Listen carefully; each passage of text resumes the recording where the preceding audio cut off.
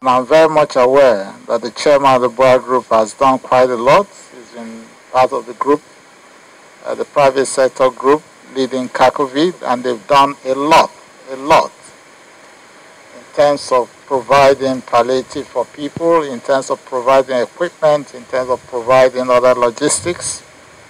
And beyond what he has done in support of that group, he has also deemed it necessary to bring us three fully kitted ambulances as a state. And as I did say, without us prompting him, I, I think it's a very good gesture. We are very happy as a state. And on behalf of the government and people of Delta State, want to extend our special regards through you to him and to let him know that we appreciate this. And we believe that if Nigeria can continue to have more men like him, I'm sure that this country will be a much better place for us.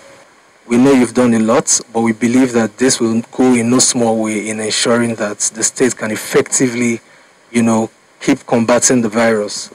Um, these three ambulances are part of the chairman's vision to support, where possible, various efforts and interventions across the country that needs additional support.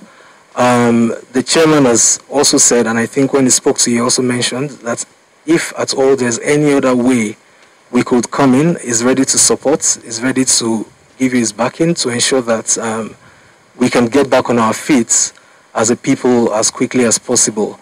Um, Your Excellency, sir, permit me to also say that um, Delta State is the third South-South state that has benefited from this. Um, so far, we've um, gone to a couple of states across the country, and we're also doing more.